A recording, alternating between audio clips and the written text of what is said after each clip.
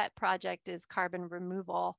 So uh, you've probably heard about carbon offsetting. Of course, you know about the climate crisis because you're here on earth we're all experiencing it what can you know one of the things that often comes up is how can you be a sustainable traveler how, how can sustainable and travel go together because we all get on planes and planes create carbon dioxide emissions and that's what's what's heating up our planet and creating this unstable unpredictable world.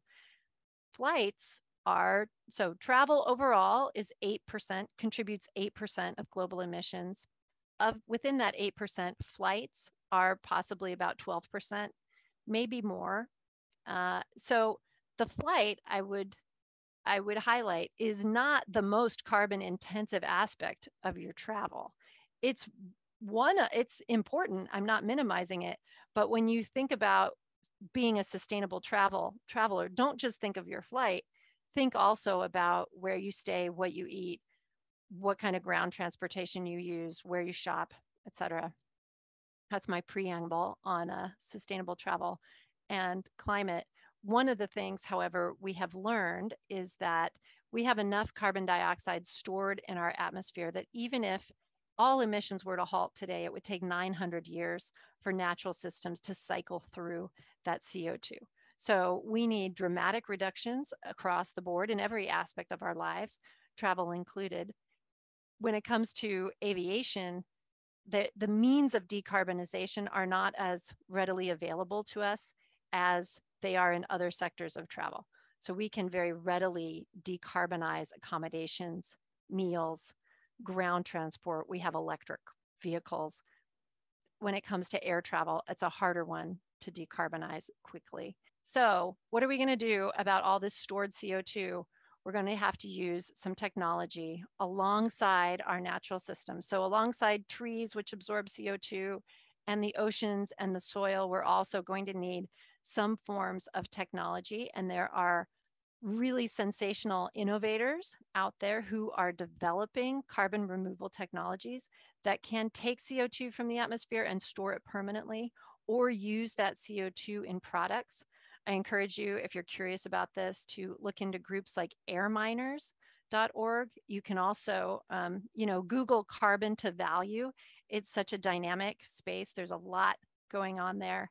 Um, Tomorrow's Air is our initiative in travel. We are aggregating travelers and travel businesses to support carbon removal innovators.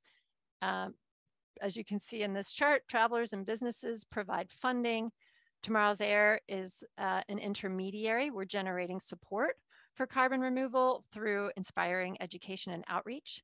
Have a look at our Instagram uh, for an example. We also develop research and speak at events. There's a podcast called Arrows on Air.